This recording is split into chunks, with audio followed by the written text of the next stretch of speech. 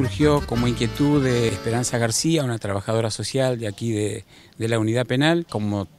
normalmente uno supone que el mural está relacionado a la pintura, es un muro que da al sur, me parecía que me iba a encontrar con la dificultad que en la medida que lo iba a ir haciendo por la extensión, iba a tener que irla restaurando. Entonces se me ocurrió la posibilidad del mosaicismo como una técnica prácticamente milenaria que perdura en el tiempo y estamos ante la dificultad de los materiales, trabajar con cerámico.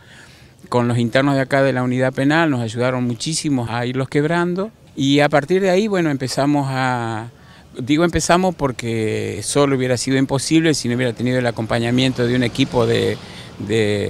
artistas que también me ayudaron, como los vecinos mismos también, estudiantes de arte, mucha gente colaboró y eh, reitero, la misma gente de la unidad penal. Eh, y bueno, y así todo trabajamos de lunes a lunes durante siete meses en donde, bueno, quisimos retratar a todos, digamos. La temática ya estaba más o menos pensada, que era de alguna manera rendirle culto a nuestros creadores, los que de alguna manera este, han trascendido no solamente la provincia, sino el país, eh, nacidos acá en Gualeguay. Así que bueno, estéticamente en, la composición del, del, boceto me pareció a cada una de las imágenes unirlas con un paisaje bastante aproximado a lo que es nuestra, nuestra región, digamos, son ceibos, digamos. Em, pero después cuando lo fuimos haciendo me pareció interesante también hacerlo autorreferencial a las personas que estuvieron colaborando, para evitar esa monotonía de que, de que sea tan lineal y que se integre más al espacio. Y entre eso, el criterio fue hacerlo en orden correlativo, desde los que primero se fueron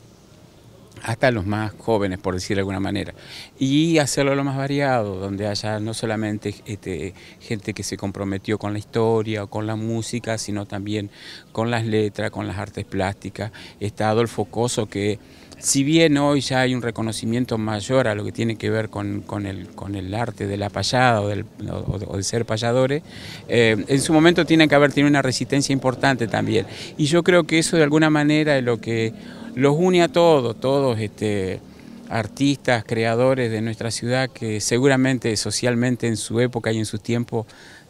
tienen que haber encontrado cierta resistencia para poder expresarse.